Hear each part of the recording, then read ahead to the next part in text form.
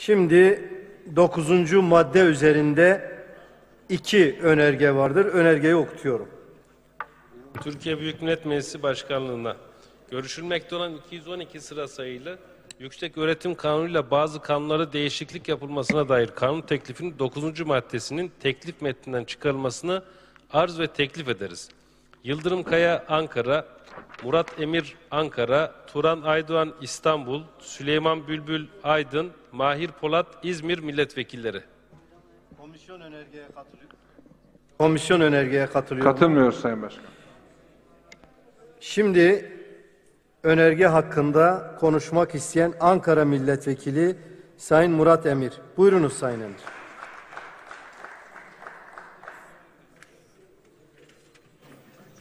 Sayın Başkan, değerli milletvekilleri, genel kurulu saygıyla selamlıyorum.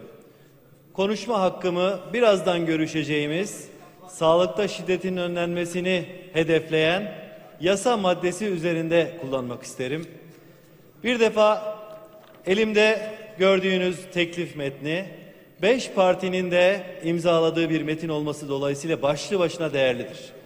Dolayısıyla sağlıkçıların uzun yıllardır talep ettiği, halkımızın uzun yıllardır ihtiyaç duyduğu çok önemli bir soruna beş partinin de destek vermiş olması başlı başına değerlidir. Her bir partiye teşekkür ederim. Ancak değerli arkadaşlar bu teklif bizi tatmin etmemiştir. Bu teklif bizi mutlu etmemiştir. Eleştiriye açıktır, geliştirilmeye ihtiyacı vardır. Öncelikle değerli arkadaşlar, sağlıkta şiddet olan, özellikle kasten yaralama, tehdit, hakaret ve görevi yaptırmama, yaptırmamak üzere direnme suçlarında cezaların yarı oranında artırılması isabetlidir. Buradan doktora, hemşireye, sağlıkçıya tehdit savuracak, saldıracak kişilere meclisimiz ve halkımız bir mesaj vermektedir. Sağlık emekçilerine herkes saygı göstermek ve görevini yapmak konusunda yardımcı olmak zorundadır. Oysa değerli arkadaşlar cezanın hükmün açıklanmasının geri bırakılmasının yasağının da olmasını beklerdik. Ya özellikle birçok suç bakımından, tehdit, hakaret bakımından iki yılın altında olacak cezalar cezasız kalacak ve birçok saldırgan bundan yararlanacak. Bu üzüntü vericidir. Meclisin bunu düzeltmesini talep ediyorum. Hükmün açıklanmasının geri bırakılmasının sağlıkçılar bakımından uygulanmaması bir zorunluluktur. Diğer bir nokta arkadaşlar hizmetten çekilme hakkı. Bakın 2013'te meclisimiz bir araştırma komisyonu kurdu. O komisyon raporunda da bu var. Bütün dünya örneklerinde var. Hekime, hemşireye, sağlıkçıya saldırılıyor ama o hekim, o hemşire o saldırgana tekrar veya yakınına bakmak zorunda kalıyor. Hizmetten çekilme hakkı son derece temel bir haktır ve bu yasanın içine mutlaka derc edilmelidir. Diğer bir önemli husus arkadaşlar son derece geç kalmış bir yasadır. Bu yasa gelene kadar yüzlerce şehit verdik. On binlerce her yıl maalesef sa- sağlıkçılara saldırılar oldu.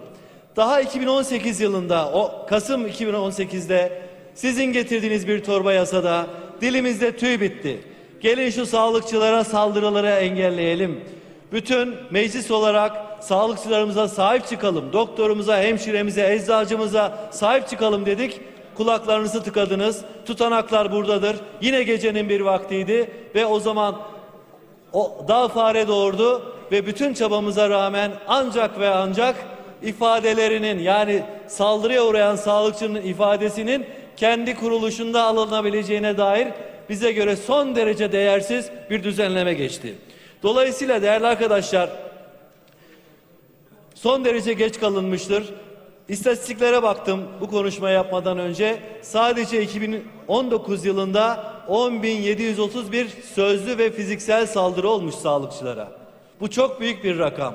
Arada cana, yaşamını kaybeden sağlıkçılar oldu.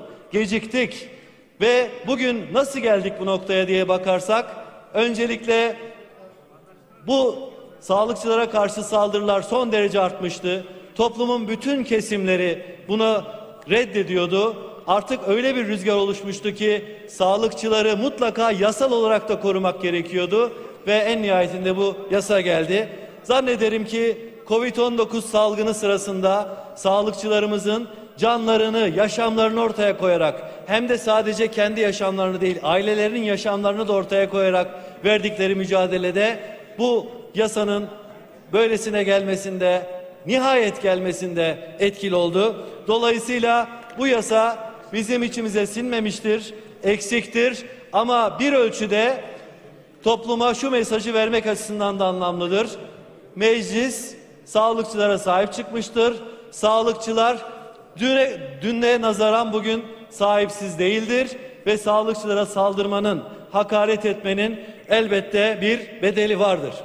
Sayın Başkan bitireceğim eğer kısacık Devam. bir söz verirseniz. Devam edelim. Tabii sağlıkta şiddetin bir yasayla cezaların artırılmasıyla düzelmeyeceğini biliyoruz. Sağlıkta şiddet son derece geniş ve çok boyutlu bir sorun. Eğitim tarafı var. Sağlık ortamının düzenlenmesi tarafı var. Sağlık ve hizmeti verilen ortamlarda gerginlik olması, oranın şiddet üretmesi gerçeği var ve de bunu söylemeden edemeyeceğim. Siyasi iktidarınızın özellikle sağlıkçılara ve doktorlara yukarıdan bakışının da çok önemli bir etkisi olduğunu belirtmem lazım. Yine de her şeye rağmen meclisimize bu yasa için teşekkür ediyorum. Saygılar sunuyorum. Önergeyi oylarınıza sunuyorum. Kabul edenler, kabul etmeyenler kabul edilmemiştir.